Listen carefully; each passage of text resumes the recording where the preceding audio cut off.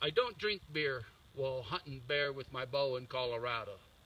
And when I have a successful hunt, as you see here, I took this nice black bear, I celebrate with Hunter's Whiskey.